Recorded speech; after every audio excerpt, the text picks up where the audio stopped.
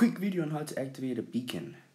Okay, so you'll just need a, a beacon and block of iron, and um, you're gonna have to make a Rubik's cube, the block of iron, three by three. Yeah, you can use um gold, diamond, and uh, and emerald. Yeah, then you just put the beacon there and done.